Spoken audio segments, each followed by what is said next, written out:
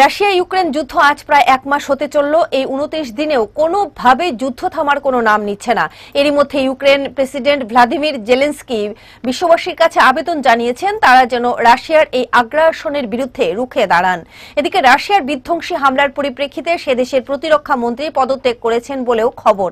এমনকি পুতিনের ভয়ে তিনিও দেশ ছেড়ে পালিয়েছেন বলে বিভিন্ন সংবাদ মাধ্যম সূত্রে খবর পাওয়া যাচ্ছে।